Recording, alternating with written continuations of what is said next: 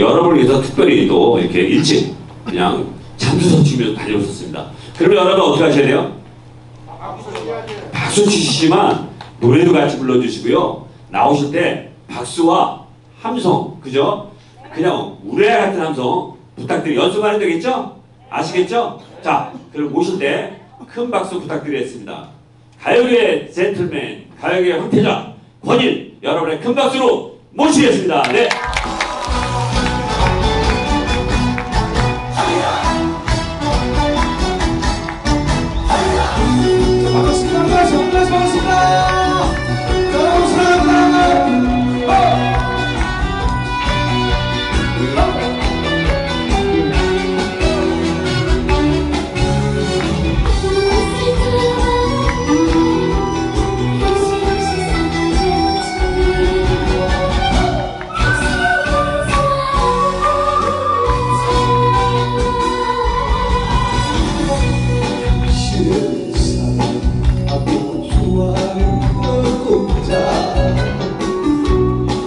하